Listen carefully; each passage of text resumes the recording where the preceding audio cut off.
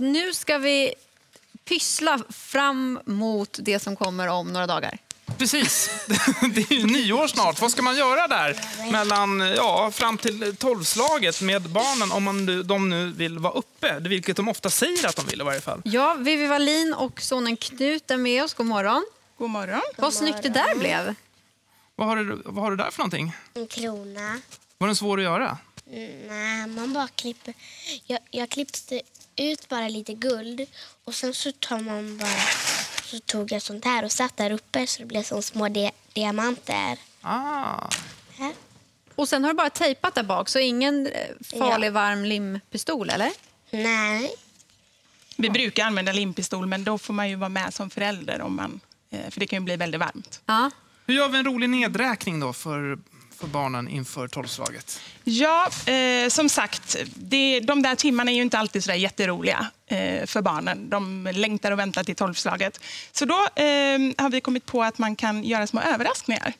Och Det kan man ju naturligtvis göra på många olika sätt. Eh, men jag har gjort det i två former här. Dels eh, i en påsform och dels i en ballongform.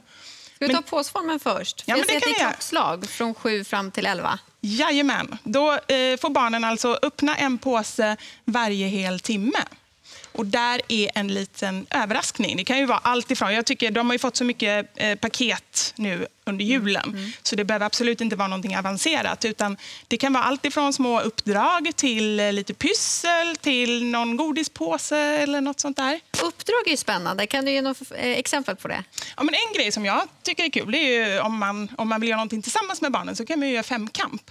Så gör man en gren vid varje klockslag. Ja, just det. Och då kan det ju vara allt ifrån ät godissnöre med händerna på ryggen till eh, det kan vara charader eller gåtor. Eller, eh, jag, jag har gett massa olika tips på, på min blogg Fixa själv. Så där kan man ju gå in och kolla så och få massa olika tips. Och nu säger Knut. Vill du öppna den? Ja. Det Är det något där i? Det Ja, här vi har förberett lite här. Ja. det är en kalasbra idé.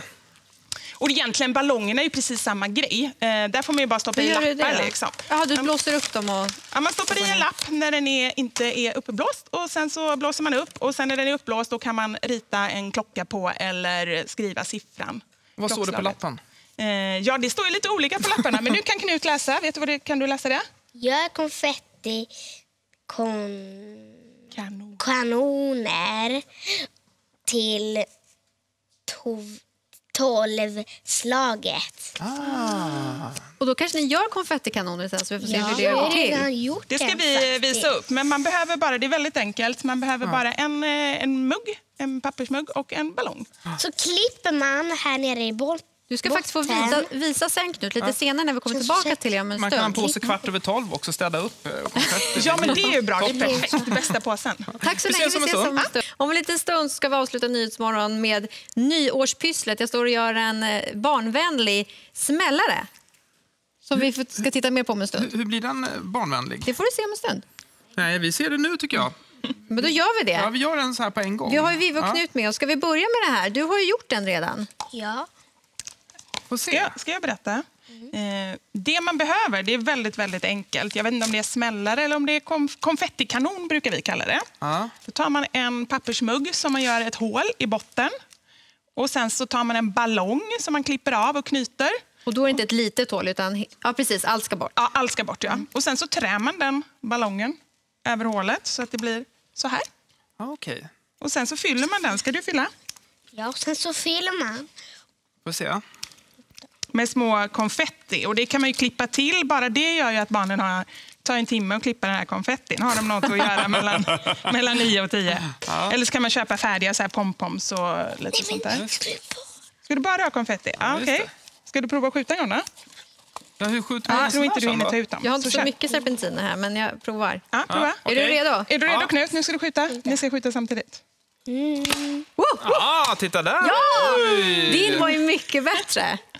Men det kan ju bli lite jobbigt att städa så man kan ju faktiskt, ett tips är att, att lägga i hela såna här så har man inte så mycket att städa efteråt. Det är fusk tycker jag. Säger mamman. Nej, ja, eller, eller om man är bort, borta, då är det okej att köra med, med Ja. så här Ja, men när man pysslar och när man bakar med barn så är det bra att ha som mjöl eller eh, olika saker, men också en dammsugare. Ja, det måste man alltid ha till hands. Vad har ni mer för nyårspyssel? Ja, eh, vi har de här lyckokakorna som vi egentligen allra helst vill äta upp redan nu. Han har suttit redo hur länge som helst. Vad är lyckokakor? Eh, lyckokakor är alltså kakor där man bakar in ett budskap. Jag vet inte om jag ska kalla dem lyckokakor egentligen, för jag har bakat in lite olika budskap. Det kan vara eh, utmaningar, det kan vara, de är ju lite anpassade efter barn och vuxna. Så vänta, du, du måste ta ut lappen först. Jaha, jag, tro, det ligger en lapp i. jag trodde den skulle komma efter att jag hade... Annars får liksom- doktor Mikael komma Ja, hit och prata Nej, man, man, kan Man ska bryta- dra den. Ja, men bry, bryt först. Bryt den i mitten. Jag tänkte att jag åt först.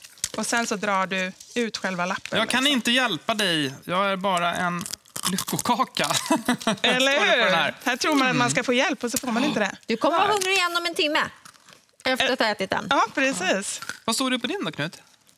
Jag ska bara få ut Nej, Knut tänker som jag, man äter först. Ja, det är egentligen det som, som är det viktiga. Men alla eh, de här recepten och pysslen och allting finns på, på min blogg Fixa själv eller på Instagram Fixa själv. Är goda. Men visst var det så, du hade ett smart brandskydd med dig också? Ja! Det här, Knut, ska vi tända den här? Tomteblosset. Egentligen så är det 15-årsgräns på tomtebloss. Men eh, det är många ändå som eh, vars barn vill tända tomtebloss och då är man ju med som vuxen såklart. Eh, men eh, barnen brukar ju tycka att det är lite läskigt att få de här gnistorna på, på händerna. Jag kan läsa den sen. Ska vi, vill du tända en- ett tomtebloss? Då, sticker man, då använder man bara sån här eh, enkelt plastglas som man sticker in tomteblosset i. Och så kör vi, så får man inte massa gnistor på händerna. Smart. Hoppas inte det går några brandlarm här. Ett smart brandskydd Det får vi enkelt. snart se. Ja. Hur känns det där Knut när du får på muggen? Vi ser om På han handen. Oh. Hur känns det när du har det där som skydd? Det känns bra för då vet jag att det inte kommer göra ont. Ja, det där gjorde du alldeles utmärkt. Vilket härligt pyssel ni bjöd på. Nu har man ju verkligen... Jag tycker det smartast av allt var nästan det här med att ha ett, ett pyssel, en grej i varje påse och så klockslag fram till tolvslaget. Ja, då har alla att göra, och, Ja. och barn och vuxna och allihopa. Ja. I vår lyckokaka